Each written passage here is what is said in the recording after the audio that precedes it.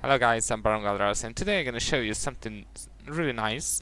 Uh, in the previous video uh, we opened Ghost Iron lock boxes, uh, 33, so let's see what happens if I uh, unlock uh, Leystone lock boxes, it's 3, 3 of them, and uh, what happens if I unlock 6 True Steel um, lock boxes. So, uh, I guess Leystone lock boxes is from... Um, uh, from Broken Isles. I'm not sure about these true steel lock boxes. Maybe at uh, Draenor or something, but I will uh, put the uh, the link in the description. So let's see, let's see what happens. Leystone, yeah, 37 gold, 46 and 40. Yeah, we get some really nice item here.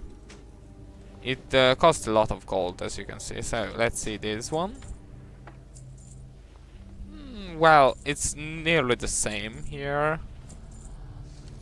Yeah, as you can see, it gives uh, some gold to us. Well, I'm not sure. Uh, by the way, uh, it's worth the, worth the loot, in my opinion. Uh, and um, sometimes you can get uh, really nice um, cost in the action house. So I would recommend to actually just uh, search for it and maybe you can buy for 3 or 2 gold or something like that.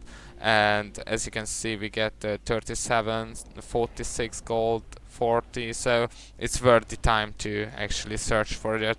Thank you very much for watching and uh, in my opinion they would just uh, they should just um, uh, give a little bit bigger um, loot for these boxes, but still it's uh, actually worth the the unlocking thing because uh, every every mob can uh, drop these uh, stuffs and sometimes um, you get just um, free loot, free transmog and things like this. So thank you very much for watching. I was Baron Galdaros and see you in the next one. Bye bye.